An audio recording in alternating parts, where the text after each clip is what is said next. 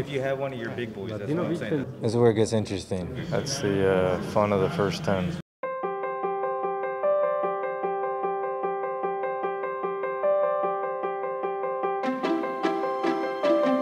My main priority is helping uh, um manage the rosters for the first team and the second team.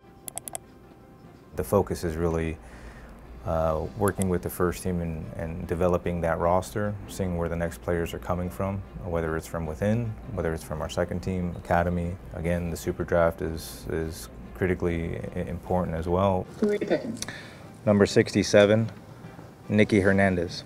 I've been in the MLS 16 years and then formerly as a player and I've been a domestic player. You know, my, my uh, expertise is here with the domestic player, the coaches, the, the product here. Uh, we're not gonna we're not gonna sit back. You know, we're gonna come out confidently. I came in uh, to FC Dallas in particular at a, at a time where it was a brand new growth phase for the club. So, you know, I've been able to grow with it. I see some people's feet moving. I see some people standing. I was very fortunate to really start on the ground floor and take all of it in. Ready to train. Ready to train. Beyond the technical aspect of, of coaching, uh, you're still in a, a support role with the team, with the first team, whether it's with the coaches or the players. The boy from the combine, the big kid. How'd you see these two?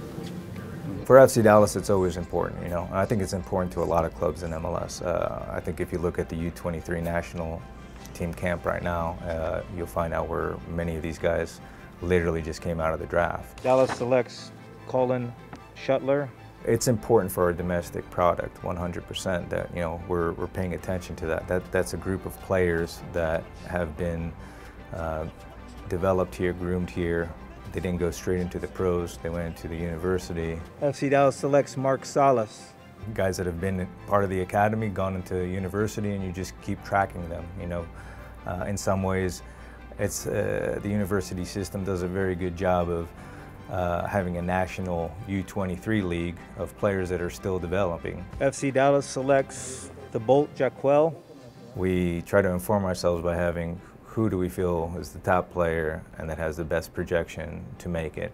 And, you know, the, the bonus is that they fit into our system, into our culture, into our, you know, playing style. And if it happens to match a, a position of need, you know, even better.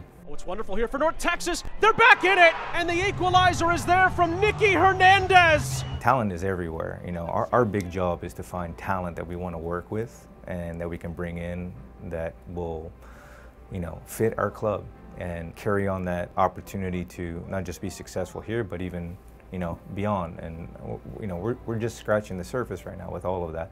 But it, it's not coming from one place. It's not just coming from one international market. It's not just coming from, from inside, uh, homegrown. It's not just coming from a draft. It's not just coming from the league.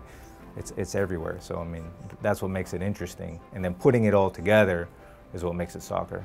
That's what makes it the world's game.